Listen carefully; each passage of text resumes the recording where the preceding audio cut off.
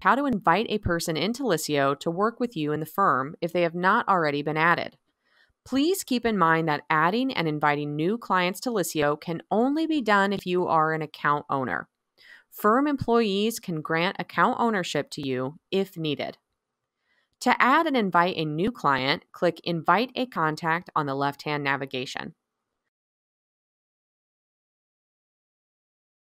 Click the To field to choose a recipient. Begin typing the user's first name. To add the client into Liscio, click the blue plus sign. Fill out the user's first name, last name, and email address. Please keep in mind that the email address will act as their username. Select an account that the client should be tied to. Click OK. Liscio will create the new client as a contact. Before inviting the client, you can enter a custom message in the message box or leave the default message.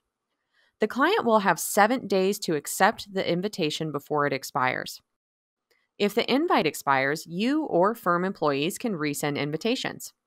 If the firm chooses to, they can remove contacts as a relationship to an account and can also choose to archive a contact.